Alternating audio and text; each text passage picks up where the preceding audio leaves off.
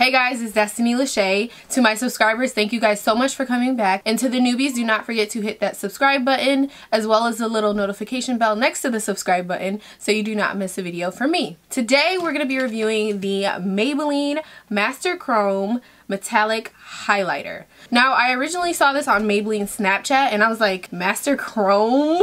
Metallic highlighter. I was too excited. And plus it's affordable from Maybelline. It just caught my attention immediately. So I went ahead and purchased it. I got mine from amazon.com this is how the highlighter looks. They put the highlighter in. This is the packaging. It's pretty standard and it's in the color molten gold. But this is what the highlighter looks like opened. Has a nice like square pattern rippling through the middle of it. I'm going to swatch this highlighter next to a couple highlighters that you may own so you can see how the color payoff is and how it compares to other highlighters. So the first highlighter is the Maybelline Master Chrome highlighter. The second one is Max Oh Darling and the last shade is Anastasia Beverly Hills So Hollywood Illuminator. So as you can tell by the swatches, they look very similar. I feel like this will look beautiful on tanned to deeper skin tones. So I'm just going to go in with my Sigma E40 brush. This is a nice fluffy blending brush that I like to use to apply my highlight. So when I swatched this, it felt very buttery and smooth. So I'm just going to apply it to this side first. Oh my god. Oh my god. Do you guys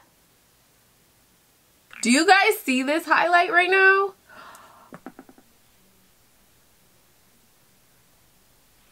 The only highlighters that I know that can do this, the Wet n Wild highlight is really good. I didn't swatch that one today, but I'm sure you guys know what that looks like. But this highlight right here,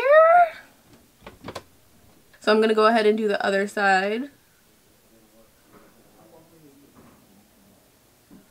So this does glide on the skin very nicely. So it doesn't have like glitter flakes in it. I'm trying to see and describe it to you guys. It's not glittery at all. It's a nice, healthy looking golden sheen.